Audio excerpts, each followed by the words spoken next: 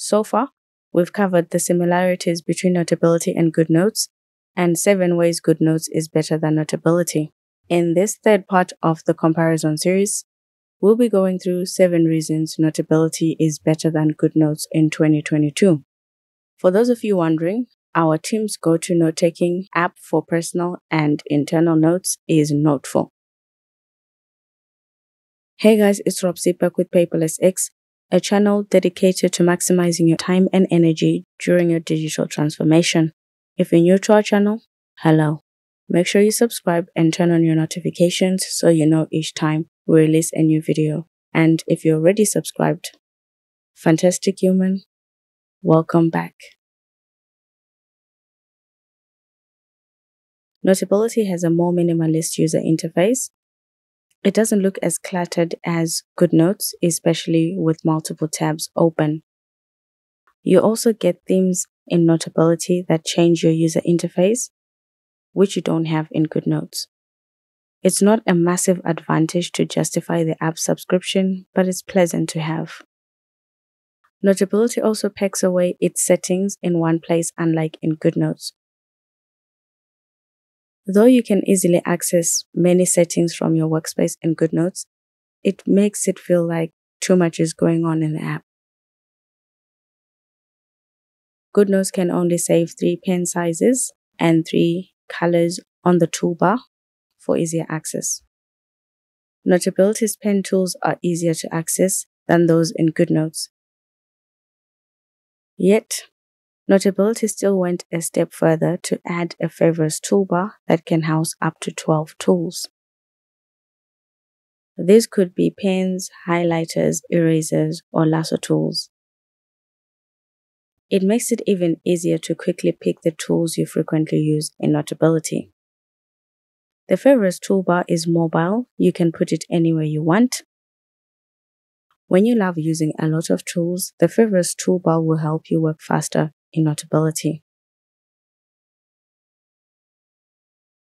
The app also supports body text where you can directly type on the page or you can use text boxes.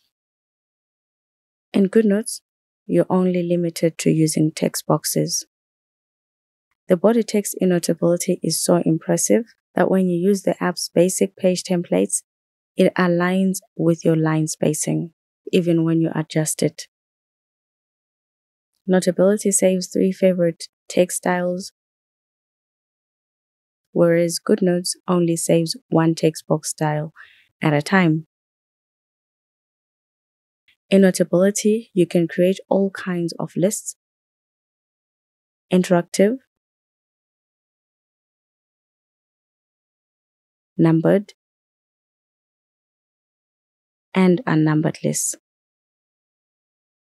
The app even has hierarchy options to change the bullets or numbering when you indent your list items.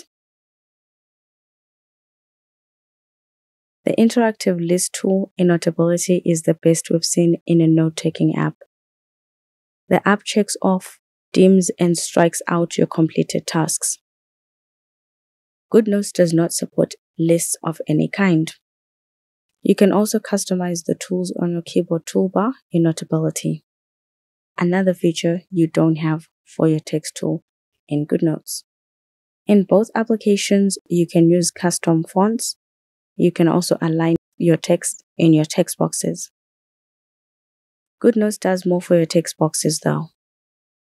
It has a wider range of line spacing options than you get in Notability of which Notability only has three.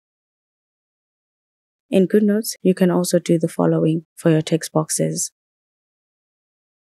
You can change the background and border colors of the text box. You can determine the roundness of your corners, determine the border thickness, and padding. You can add a shadow to the text box or save one text box style. Notability doesn't have borders for your text boxes, and the only thing you can change is the background color or type. Though the app has limited text box styles, it does offer more text functions than GoodNotes.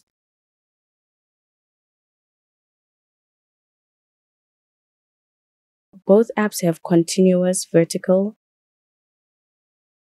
and paged horizontal scrolling. Vertical scrolling in Notability is seamless. Pages look like a continuous canvas separated by a thin horizontal line. Your handwriting can even overlap between the pages, which looks good in the app until you export your notes, of course. In GoodNotes, a small gap separates the pages in your notebook. Your handwriting thus can't overlap between your pages. Notability automatically adds a new page when you start writing on the last page in your notebook. While in GoodNotes, you have to add pages yourself. It's nothing to cry about though. Notability can add more items to your notes than GoodNotes. For both apps, you can add images, scans, stickers, and import documents. In Notability, you can then also add GIFs.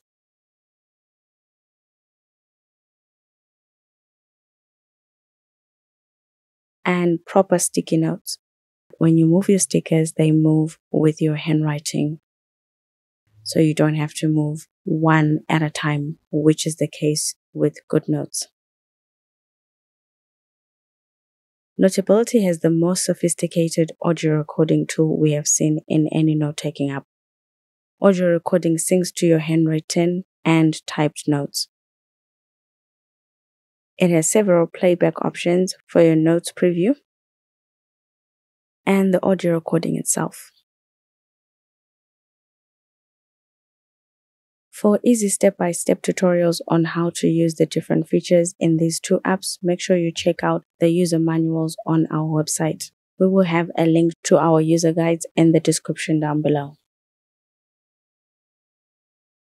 Both apps can convert your handwriting to text. Notability converts your handwriting to 22 languages. And GoodNotes to only 13. GoodNotes workflow for handwriting conversion is more cumbersome.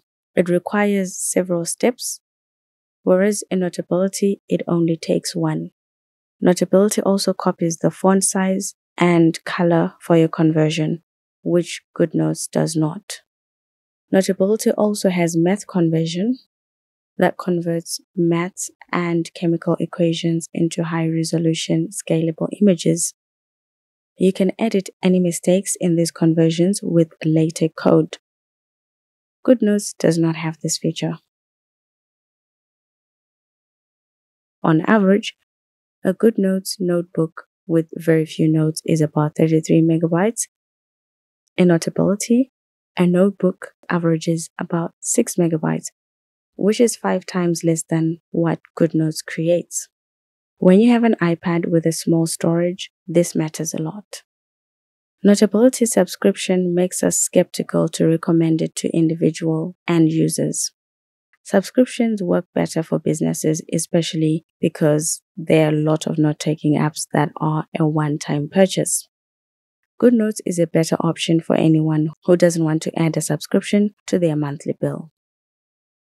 And this brings us to the end of this three part series.